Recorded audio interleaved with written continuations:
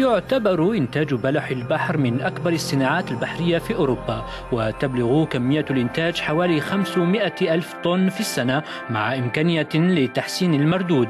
وقصد جعل هذه الصناعة أكثر ربحية على المدى الطويل قررت واحدة من الشركات السويدية المشاركة في المشروع الأوروبي والقاضي بالاستفادة من آخر الخبرات والتكنولوجيات لرفع إنتاج بلح البحر.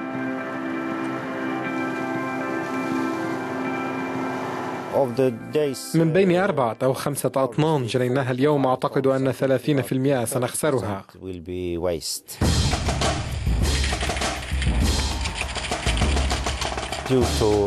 بفضل الخبرة المكتسبة أثناء تطبيق المشروع استطعنا تخفيض الخسائر من 5 إلى 10% علماء من المركز الأوروبي للبحوث يتابعون كل خطوة في عملية استزراع بلح البحر من الإنتاج إلى الاستهلاك واستطاعوا إيجاد أكثر المراحل الحرجة في عملية الإنتاج والعمل على الحد من الكسور والنفايات. الجهود بدأت تؤتي ثمارها. واحدة من المشاكل الكبرى هي الكمية الهائلة من النفايات والخسارة تتراوح بين 20 إلى 30% تضيع في مختلف مراحل إنتاج بلح البحر. والهدف هو الحد من النفايات إلى 30% صحيح أننا لم نصل بعد إلى هذا الهدف لكن هناك زيادة في الإنتاج.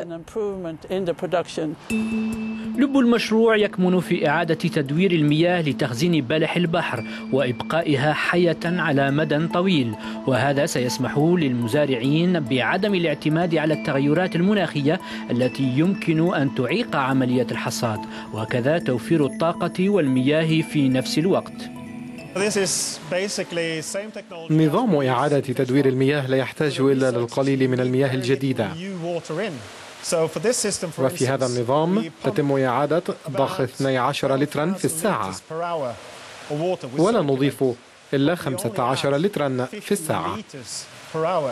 في الضخ العادي مقارنة مع هذه الطريقة يحتاج المنتجون إلى 20 لترا في الساعة لكل كيلوغرام من بلح البحر وهذا من شأنه أن يرفع التكاليف كما تتم المحافظة على نوعية المياه وهذا من مهام المختصين. هذا من شأنه إزالة الجسيمات العضوية الدقيقة التي تخرج من بلح البحر. يوجد مضخة في الجزء السفلي من الأسطوانة والتي تصنع ملايين من الفقاعات الصغيرة التي تجتمع حولها الدهون والبروتينات المترعرعة هنا.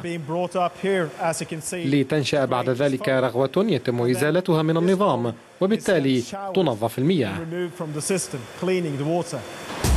أثناء عملية الفرز يتعرض بلح البحر إلى الدورات الميكانيكية التي يمكنها أن تؤثر على حياته. هذه المرحلة الحاسمة في خطوات الإنتاج والتي تم تحديد أهميتها. لقد وضعنا بلح بحر وهمي مزود بجهاز استشعار. والهدف من ذلك هو معرفة تأثير الطريقة الميكانيكية في الحصاد والصدمات التي يتعرض لها بلح البحر منذ بداية الإنتاج حتى نهايته.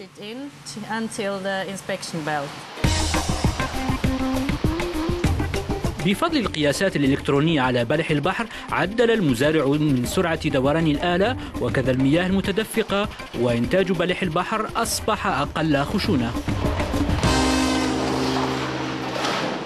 عملية لطيفة وتوفير للجهد وكل هذا مع نوعية أفضل لبالح البحر وأيضا باختبار من العلماء.